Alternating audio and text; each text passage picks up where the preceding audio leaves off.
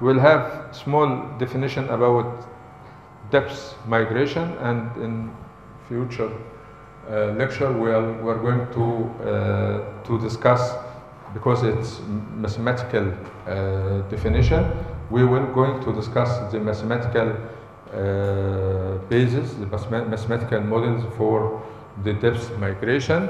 Depth migration is applied to seismic data in depth coordinates, which must be calculated from seismic data and time coordinates. This method does therefore require a velocity model. So we have to start for depth migration from a velocity model, making it resource, making it resource intensive because building seismic velocity model is long and iterative process. Do you have any idea what iterative mean? What iterative? Yes, repetition. We are repeating something and this repetition we are applying uh, is applied according to certain scheme in such a way that we are converging to solution. We are not randomly applying uh, repetition. We have many models for repetition. We have, for example, the grid search. We have, for example, the Newton uh, method. We have also uh, the genetic algorithm and neural network. All these are used for randomly and, uh, and uh, numerically uh, solving for building the velocity model. The significant advantage to this migration method is that it can be successfully used in areas with lateral velocity variation, which tends to be the area that are most interesting to petroleum geologists. Some of the popularly used depth migration algorithms are we return with Kirchhoff or Kirchhoff depth migration and reverse time migration, Gaussian beam migration, and the wave equation migration. By this, we come to the end of today's lecture, but uh, I have to return back to your answers yesterday in the e-learning uh, quiz. Uh, of course, you, you, you did uh, well, but the, the problem of Fourier series seems uh, consistent. You are not able to understand that the uh, Fourier series approximation to a function cannot be just constant. And uh, unfortunately, uh, number of you uh, give the final solution as constant. And some both solutions without justification. Why we have A, for example, equal zero? Why it's equal zero? We have some, some problem in uh, understanding what even and odd uh, means, although we have uh, video on the e-learning uh, facility that explain the situation. When you are making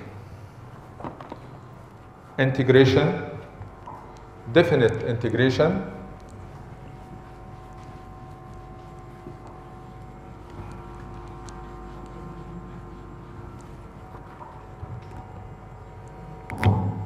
say for uh, minus 1 to 1 x dx.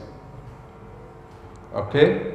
This is part of the uh, definition of the anal term this integration equals x squared divided by 2 between minus 1 and 1 so it equals, now we will uh, substitute x squared by 1 and substitute x squared by minus 1. We have x squared substituted, substituted by 1 squared divided by 2. Okay? Minus minus 1 square divided by 2. The result is half, 1 half minus 1 half, which equals 0. So when we, we, we, we say that x is, is odd, it means that the, as x is odd, the start and end are different, this meaning of odd.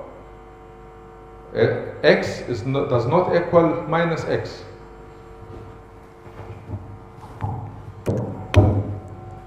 For if f of x does not equal f of minus x, so f of x here is, is called odd function.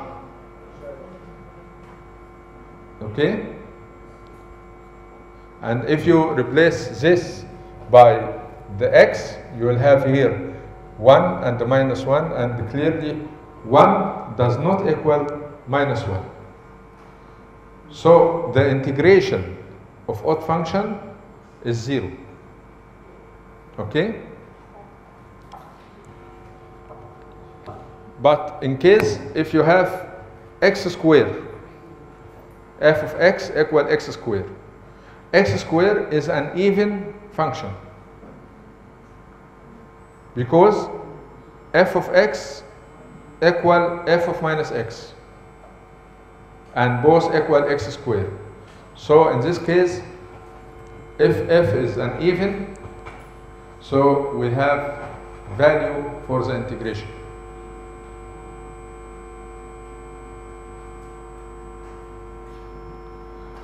Maybe you need to, to review some of the uh, principle for integration. And in your answers you need to justify. If you say b equal 0 you, you'll say okay p b equal 0 because 1 2 3 in yesterday exam we understand that a null and an all equal 0 because x is an odd function. And when we multiply odd function with even function the cosine okay we will end up with odd, with odd function. So a is, re is removed and a null is removed. So we'll end up with b which bn which is equal 1 divided by 2 pi uh, from uh, minus 1 to 1 x sine x dx. Okay? X is, is an odd function sine x is an odd function so the final solution will be will be what? Odd times odd gives even. Okay so I want to, to solve this. I want to solve this, so I will use integration by parts. We have, uh, we can take, um, you can uh, take uh, u dv, we, we can take u equal uh, x, and we can take dv equal sine x.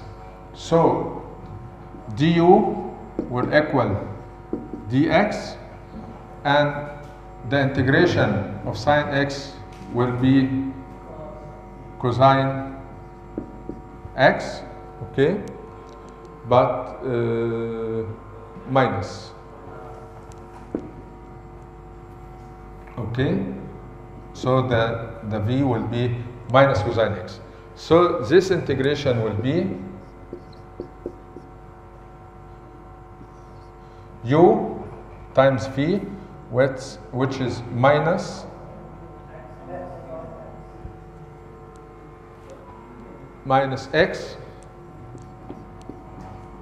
cosine x and also minus integration we can now uh, just remove the minus 1 to, to 1 and put 2 okay? 2 will be here. From 0 to 1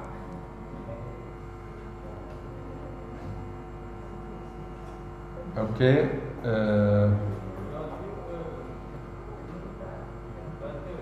yes cosine cosine x dx yes. Isn't it just 1 over 1 not 1 over 2 pi? 1 over 1 over t, which means 1 over 1, right? yes yes. Sorry. Okay. 1 over uh, it should be 1 over 2 the range from minus 1 to 1 okay Um, shouldn't it just be 1? 1 over 1? For AN and BN is 1 over T instead of 1 over 2T, right? okay For a naught is 1 over 2. Okay, okay, no problem. Okay, so it's now here we have two, and here to find this one, it's so simple. It becomes we have two times minus x cosine x minus or plus sine x between 0 and 1. Then we are going to evaluate the value and then obtain the value. I'm sorry? So the whole, the whole term will be once uh, substituted by x and once substituted by y. So at the end we don't have in the definition of the b uh, cosine or sine. We'll have values uh, in our hand. So since we do this in terms of n, shouldn't the final answer be in terms of n as well? Excuse me? Since it's bn, right? So the final answer should be in terms of n rather than a final answer, right? Yes, yes. You're right. Okay.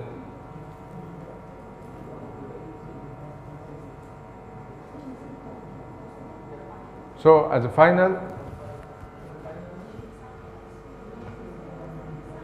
I'm sorry, sorry. So we have here, sorry.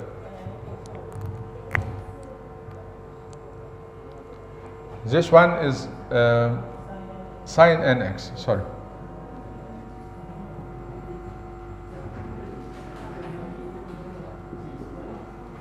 Okay. Accordingly, we will have here dv sine sine nx.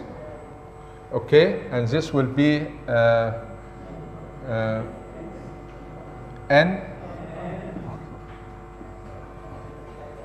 n in the in the denominator cosine nx and so on we will end up with uh, these values. And then we'll understand that when we have we have two situations one where n is odd and one when uh, n is even. So uh, one of them will be when we are going to substitute will be zeros so it will be uh, uh, vanishing and then we have certain value for the b coefficient. Okay? So this what the the solution should should end is not uh, 2 pi and n and cosine x divided by sine x divided something. Okay? So I, I want you to evaluate this this equation and send to me by by email. Okay i want you to evaluate this integration independently. I hope every one of you depend on on himself only and do not uh, uh, copy from a friend or so and depend on himself to find the final solution and you will give you will be given you will be assigned also some bonus. Okay. Uh, as for today's uh, uh, session, ex- extra session, I uh, we we are going to Langkawi next Sunday um, for uh, experiment, and we have some time limited. So I uh, I ask you to postpone the today's because because we are going to to go buy some wires and so.